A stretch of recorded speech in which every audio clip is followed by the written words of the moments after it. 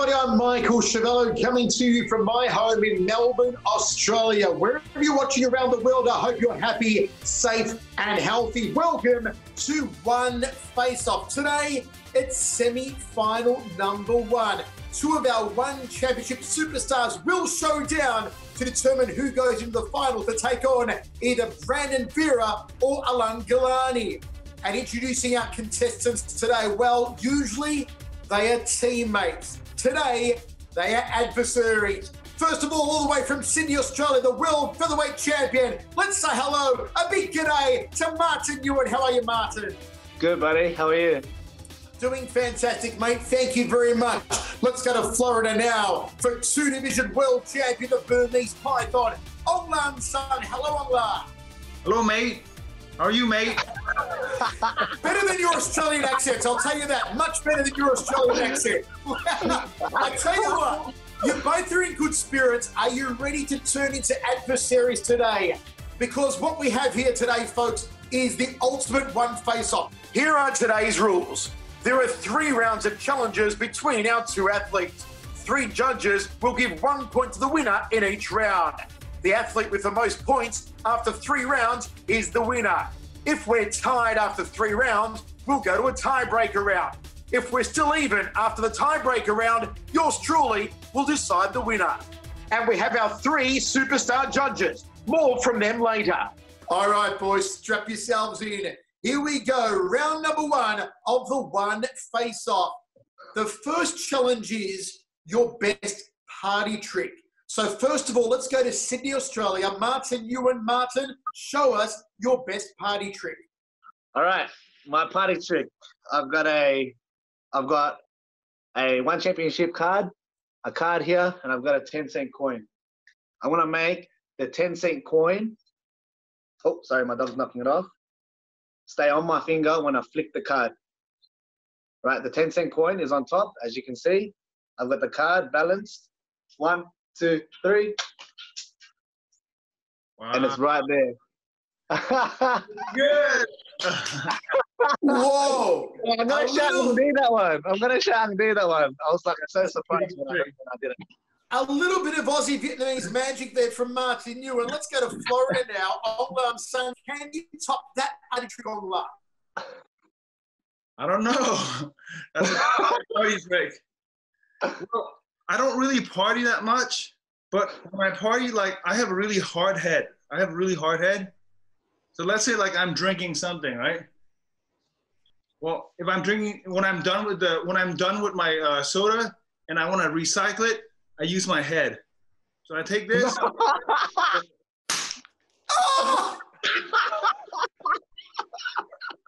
you did not just do that. You did not just center a can on your head. My head's pretty hard, so I can do that. okay. All right. All right. A, a, magic trick from Martin Nguyen in Australia, a can crushing trick on the head of Aung La N Sang in Florida. Let's go to our judges. Let's introduce our judges. Three special judges today, folks. First of all, in Singapore, the one VP, Miesha Tate. Hi, Miesha. Hello, how's it going? Doing fantastic. Our second judge, all the way from Manila, my co-commentator in the commentary position, the Dragon, Mitch Chilson. Hi, Dragon. Thank you, Michael. This is a tough one. This is going to be a good one. I can expect a lot from these guys. And over in Hong Kong, the man with the lungs of pumping bellows, the one championship ring announcer, Dom Lau, the dapper one. Hi, Dom. Good to see you, Michael. Okay, first round is in the books, guys. Miesha, let's go to you first. Who wins round number one? Well, I, I did uh, like Martin Nguyen's trick. It was definitely something I haven't seen before. Um, however, I did figure it out. So I'm not uh, as uh, I figured it out right away. capture my attention long enough, uh, and I love recycling. Okay, I'm a huge recycling fan, so I'm going to give this one to Aung La. Yes. Okay, thanks, Miesha. First point on the board for Aung La N Sang. Let's go across to Manila now and Mitch Chilson. Mitch, your vote. Man, these guys are making it tough, but I'm sure if these guys were busting these tricks out at a party, there would be all eyes on these two.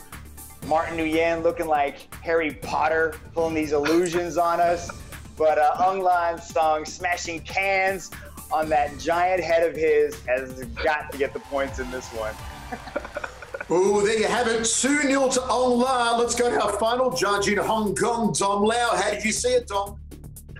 Uh, I really love this one. It was a game of finesse on Martin Nguyen's part versus just brute force from Aung La and the Song. But I, I have to tell you, if I was at a party, visually speaking, I think it looks so much more impressive just being able to take that can and boom, smashing it on your head. So I have to give that point by margin to Aung La N Sang.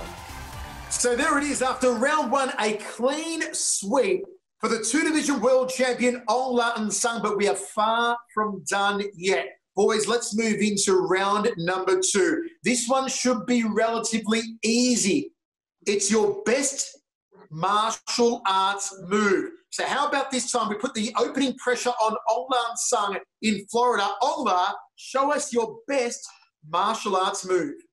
So I used to do this move a lot. You know, uh, earlier in my career, I used to do this a lot. And then I stopped doing it. And then one of my friends started to use it more often. So this is going to be my uh, martial arts move.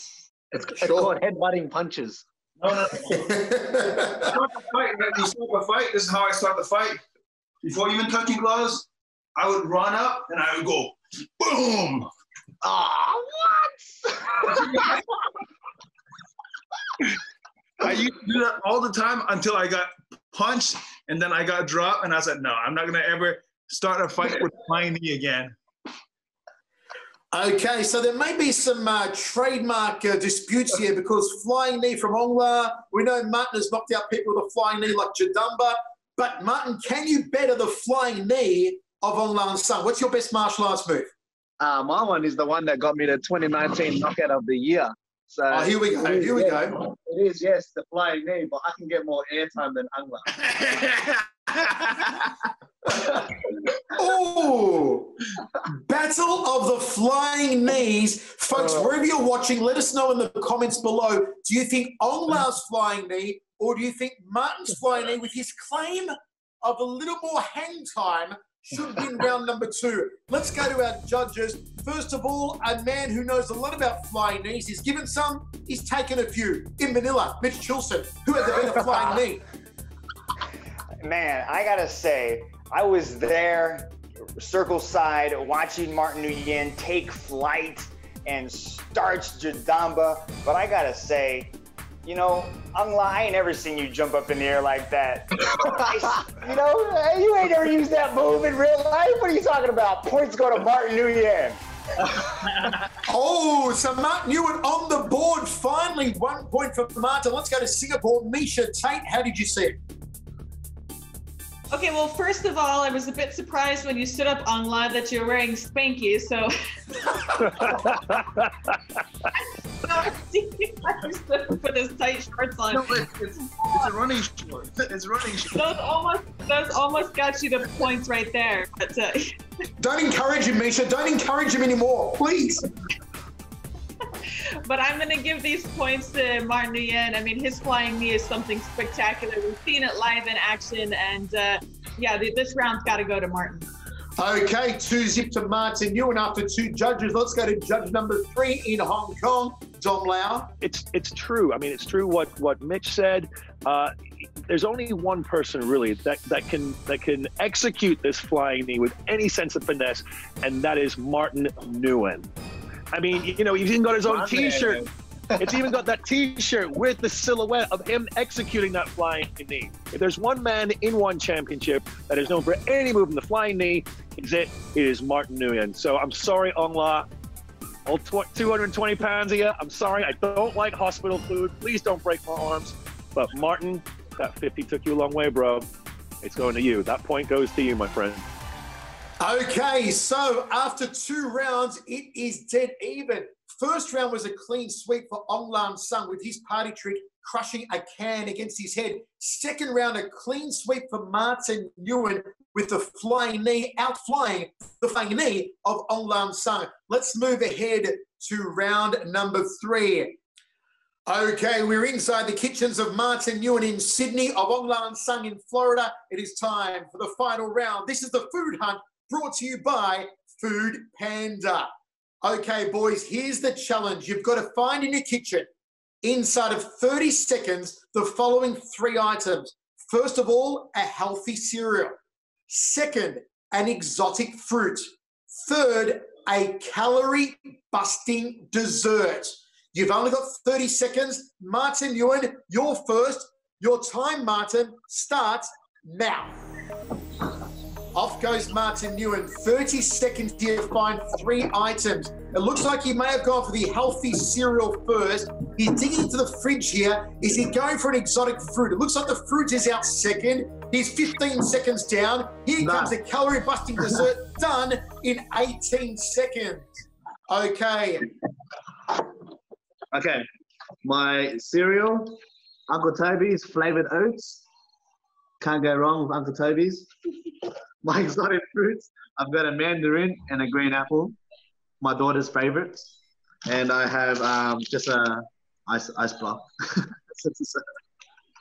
Okay, so there's Martin. He's gone for the good old Uncle Toby's cereal. He's gone for a mandarin and apple, not quite exotic. Don't know if it'll pass the test of exotic fruit. And then he's gone for a icy pole as the calorie busting dessert. There are the three items from Martin. Let's go now to Aung La N Sang in Florida. Aung La, I'll reset the clock here. You have 30 seconds. Once again, Aung La, find a healthy cereal, an exotic fruit, and a calorie busting dessert. Aung La, your time starts now. Aung La N Sang is off and running in his kitchen in Florida. What's he going to find first? There should be a lot of exotic fruits to choose from, but does he have any calorie busting desserts? I can't picture Aung La's kitchen with calorie busting desserts. Mind you, both men do have young children, so for the kids, for the wives, of course, there may be some calorie busters in the cupboards, in the fridge. What is Aung La going to come up with? So you've got three seconds left, two seconds left, one second, Aung La. You better hurry back, Aung La. Time. Just made it in the nick of time. The two division world champion, Aung La. What have you got first of all for your healthy cereal? Hold on, hold on. I shaded. Hey, here, here, sorry. It's a healthy Lucky Charms. Um, super healthy. It has all the vitamins that you need. Let me read you. Vitamin D, calcium. Hey, you can show. You don't have to sell it, man. You don't have to sell it. It's got uh, niacin, riboflavin, thiamine. It's uh, vitamin B, B6 as well. So This is gonna be. Oh, of course, it says it says fruity, so it must be healthy. It's fruity Lucky Charm. Rudy, look, look. This is what I'm gonna do. I'm gonna put it in a bowl. Put it in a bowl here. Can you see? Okay, well, there- there's Aung La's, there's Aung La's, hold on, I need air quotes for this one. There's Aung La's healthy cereal, his healthy cereal. Okay, Aung La, what about the exotic fruit? Exotic fruit. This is the uh, the fruit that grows in our tree in our backyard, and it's a sour sop. A It's grown- Yeah, it's a sour sop. It's grown by the cancer doctor that used to live here in this house. So it's good. Uh, it's good. Uh, it it, uh, it fights cancer. Okay, and how about your calorie busting dessert? If your cereal doesn't qualify already. Yeah, it, it's a it's a it's a French vanilla ice cream. Can you see? It's French vanilla ice cream. Yeah. It's, made with, it's made with super premium. It's it's super premium. It's very yummy and delicious here. Hey, Katie brought that for me. Oh, wow. Wow. Okay. These are two very tough collections for our judges to decide. Now, folks, our judges will decide as an overall collection and not item by item. So, this one, once again, brought to you by Food Panda. It's the final round, it's our food hunt. Let's go to Singapore. Miesha, who has the best collection? Oh man. All right. Um, I mean, Aung La is way off with the cereal there. I mean, that's just repulsive. disgusting. So, um, you know, I like that Martin Nguyen has the healthy cereal. Um, the dessert was definitely lacking a little bit. It's just an ice pop. There's not many calorie busting. If I was going to cheat, it would definitely probably be more so with uh, vanilla ice cream and some on top than a pop. And uh, the fruit, um, I think that's really kind of the tiebreaker. I think that the sour sop is more exotic, so I've got to go with Aung La N Sang for this round. Sorry about that, Martin. No, you're good. Okay, so according to Miesha, the apple and the mandarin are hurting Martin Nguyen. Let's go to Manila now, Mitch Chilson. Man, I like I like Aung La's presentation. He's just doing everything with a little bit more flair, you know. But oh, I got oats in my cupboard right behind me, Martin. So you get points on the healthy cereal. Man, sour sop, Aung La. I got sour sop in your backyard. I would expect nothing less. I'm out here in the Philippines. I know the nutritional benefits and the cancer-fighting properties of that beautiful fruit, sour sop. So you get that one. It comes down to the dessert. Martin, man, he said calorie busting. That's a sad dessert. I gotta go with Aung La. I gotta agree with Miesha Tate. I think it's gotta go to Aung La N Sang. Dom Lau, is it going to be a clean sweep here for Aung La? Oh man, this one's a close one. Again, you know, I agree with Miesha. Ongla, dude, you know, I know that you are the light heavyweight champ. I understand why you've got those in your cupboard, but dude, those Fruit Loop things, whatever, that is not a healthy cereal at all. It might say the word fruit on it, but that doesn't mean that it's healthy by a long shot. So Martin takes the cake on that one. That's the, that's the healthy cereal there. Um, exotic fruit, hands down, it's got to go to Aung La. And the fact that you're, you're growing that in your own backyard as well makes it even more amazing. I'm just picturing now pouring the Fruit Loops all over the ice cream as part of that dessert. That would be calorie busting right there. So in that sense, the point has to go to Aung La N Sang. Well, there you have it, folks. We have a winner of semi-final number one in the one face-off. It is Aung La N Sang from Florida in the USA. Aung La, congratulations. What a momentous victory over your stablemate, your teammate, Martin Nguyen. Martin, brave effort though, buddy. Martin, you, you know you're gonna have to eat this, right? I don't ever eat ice cream. no one else is gonna eat it. I'm the only one who's gonna eat it. I don't eat ice cream. I don't eat cereal either.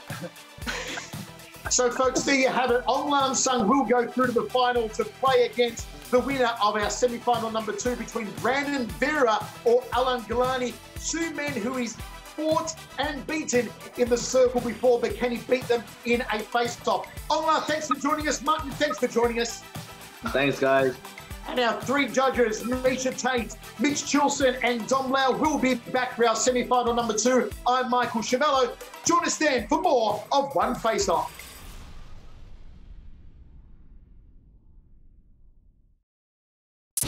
Guys, it's Miesha Tate. If you want to see more awesome One Championship content, make sure you click that subscribe button. Click it so you don't miss it.